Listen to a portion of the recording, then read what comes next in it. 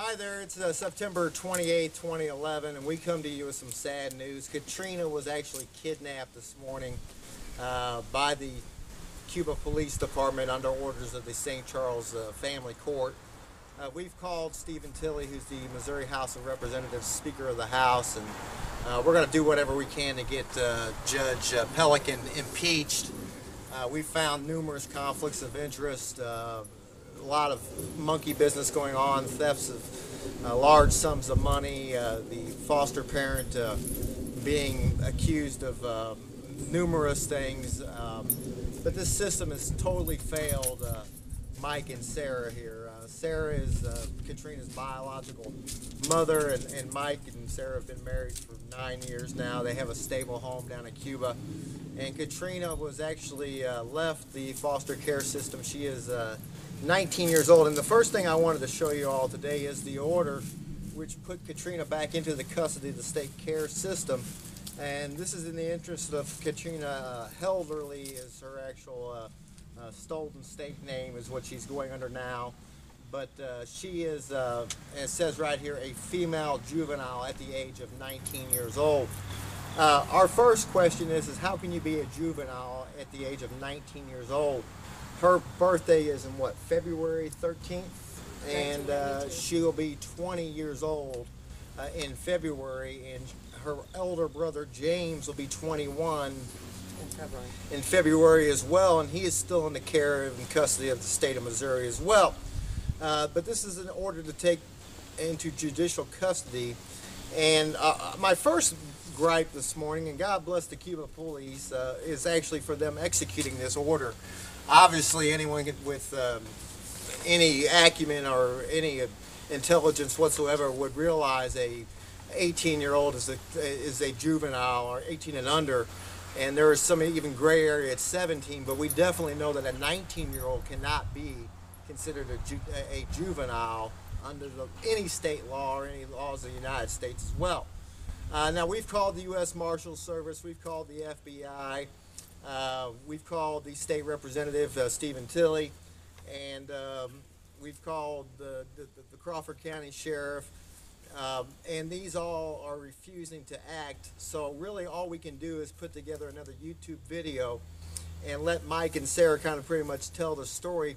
Uh, Sarah, what happened this morning at 10 o'clock, or, or, or what was going on? I was getting ready to get Katrina into the shower because she had a doctor's appointment at 3 o'clock this afternoon to see one doctor and find out what medications she needs and get her one supervised doctor. Here come two cops and a CPS worker knocking at my door, and they took Katrina by this order. She cried, she screamed, she tried going back into the house. They wouldn't let her go back into the house.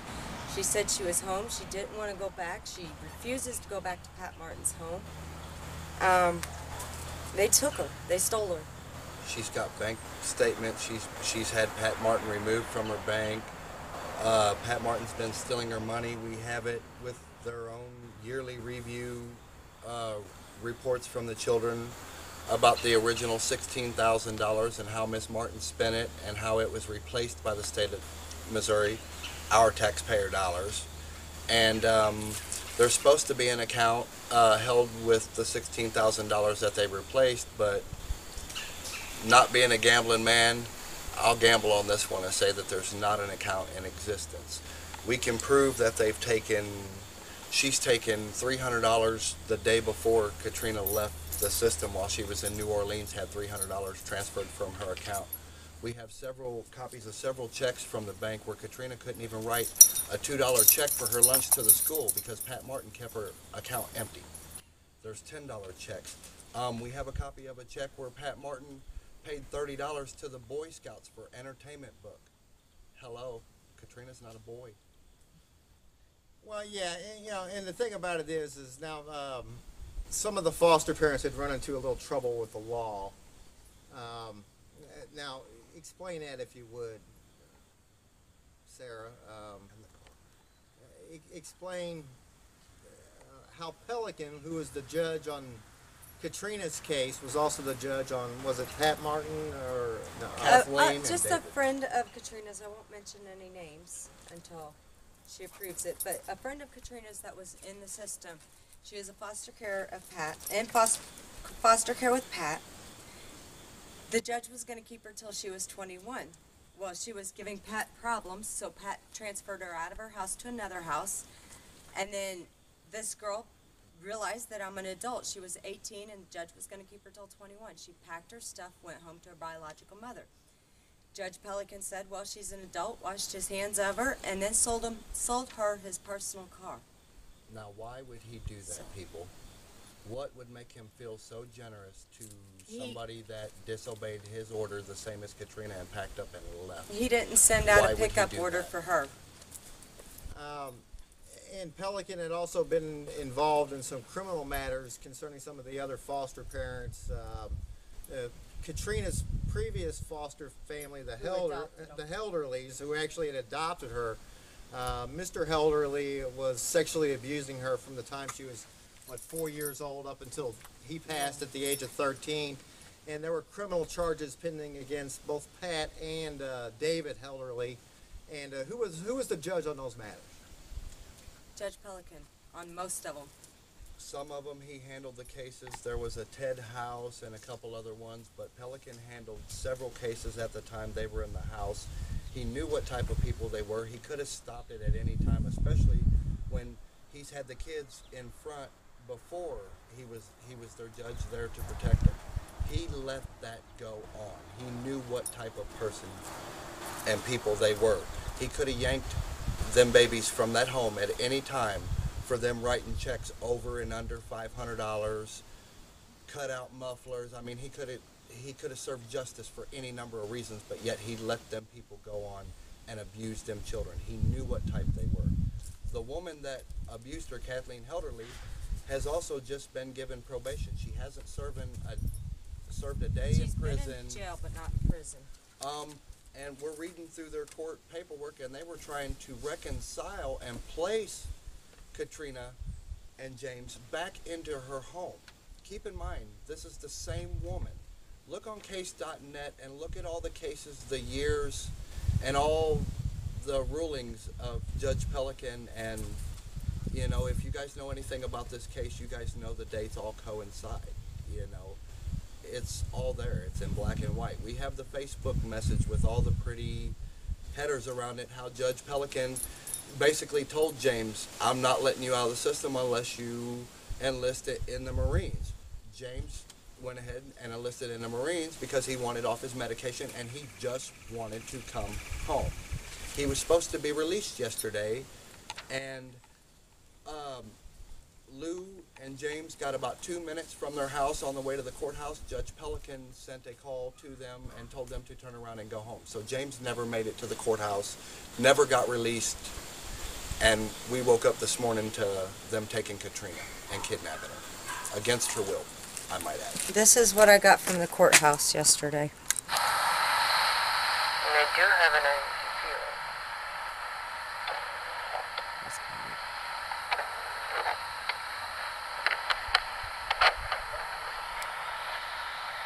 Don't trust these people at all. I think that's the wisest statement made all day. long. It's getting ready to come up now.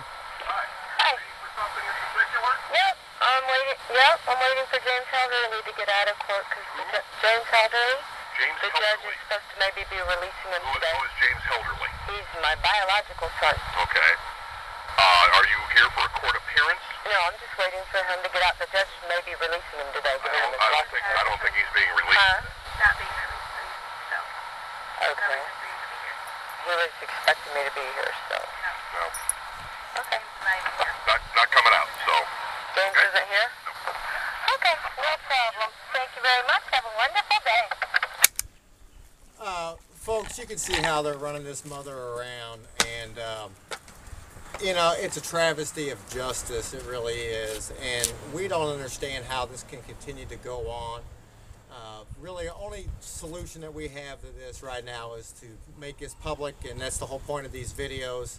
Uh, with the first videos we put up on YouTube, we had well over 500 visitors to them, and then uh, they've went viral. Um, and, and we've had other uh, other incidences going on, but Sarah's got something to say here. I would also like to make a statement that I had never been arrested before this case happened when it very first happened back in 95. Never been arrested for anything in my life. Kathy and David had been arrested when I was in California giving birth to my son. They had criminal charges from back then. So that was the foster parents they sent them to.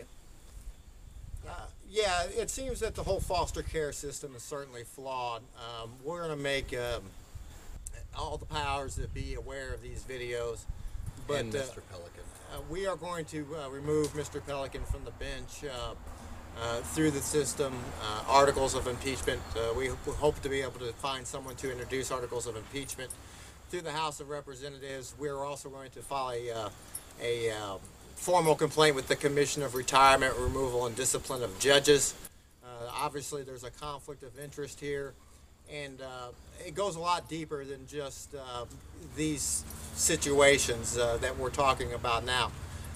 What we discovered back when Sarah had her parental rights terminated, Sarah, tell them the deal that they offered to, to make you uh, the day in court when they ter- terminated your parental rights for, for Katrina.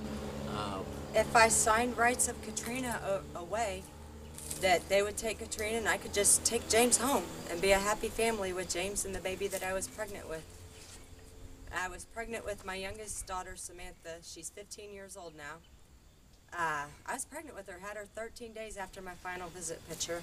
Straight A student, president of the Key Club. Not a thing wrong. On a roll. Actually, you guys could learn a thing or two from her. Perfectly healthy child and happy in her home. Yeah, and now you have the foster care system, and with the help of uh, local law enforcement, uh, kidnapping a, uh, a Katrina and still holding James uh, under duress, uh, and he'll be 21 years old very soon. Uh, that's basically all we had to say at this point in time. Um, unless Mike or Sarah have something else to say, how, how are we doing on time there, young lady? 12 minutes. I'd Okay. mentioned that they keep her on drugs to keep her dumbed down.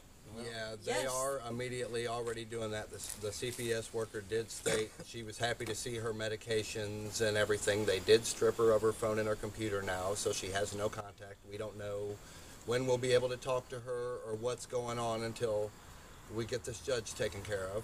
Um, we've got plenty of financial records. she was perfectly healthy when they took her. Healthy, safe, Happy. fine, protesting, telling them she was home, she was 19, an adult. Uh, so if anything happens to Katrina, please people be aware there's tons of witnesses, tons of people that can verify, as well as the Cuba cops, and uh, she was fine when she left. So there is deaths and things that happen to people that speak out against these people and what they do.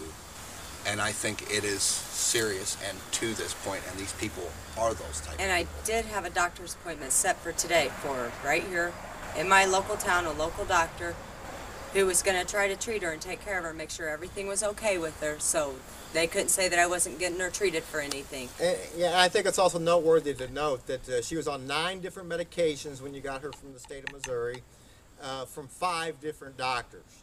Uh, didn't have one primary care uh, provider, but had five different doctors, so they're basically out doctor shopping. And we mentioned the, the fact of the money stolen, missing from the, her accounts. Uh, Katrina, they had labeled her as being uh, uh, basically retarded, uh, but but Katrina had uh, achieved well in school, had uh, above average grades in school, had her driver's license, uh, had a vehicle that she worked for, paid for, Enrolled in college. enrolled in college, doing very well in college, and uh, basically this whole system has snatched her back in.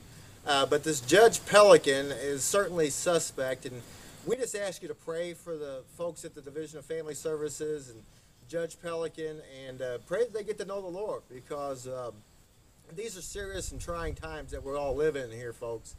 And uh, Mike and Sarah are just a part of the, uh, uh, just some of the victims of this system. We've heard from literally hundreds of others of people who have been uh, victimized by the Division of Family Services, the Department of Social Services, and uh, this foster abuse system is going to come to an end. And uh, we're going to do everything we can to expose them for the, for the, for the type of people they are. And uh, they're baby they're, they're, they're kidnappers. and uh, thieves on top of that. So that's really all we wanted to say. Uh, go ahead, Sarah. James, Katrina, and Samantha, I love you very much if you see this video, and I always will, and I'll fight forever for you guys. I love you. Till death, babies. And, and let me tell you this much, folks, before we cut this off, and we're going to try to keep this under 15 minutes. I think we're pretty close. To, well, we're a little over 15 minutes. But uh, you know what, uh, folks? This Not country is supposed to be government of the people, by the people, and for the people. And what we have in America today is not a, a- a country we can't even begin to recognize. Uh, and how the local law enforcement people can uh, actually execute an order that says a juvenile is 19 years old when we all know that a juvenile is over 18. I have children upstairs that are 17, 18 years old, they can't even figure it out uh, how they could be. Uh, my son is actually uh, uh, he's sovereign on his own at 17. So, I, mean, this whole thing is just a scam, folks. It's plain and simple. And it goes a lot further than the money. It goes a lot further than uh, just the custody. There's a lot of other wicked, vile stuff that's going on that we won't even mention at this point in time because they're serious allegations. And until I can actually prove them, uh, I'm not even going to go there. But uh, you can just let your uh, imagination run wild with this whole situation. Why would he sell a car to be so generous with a kid who disobeyed his orders? And Mr. Pelican, those kids hate your guts. They're gonna tell you. You know, they know what you are and who you are and what you're doing.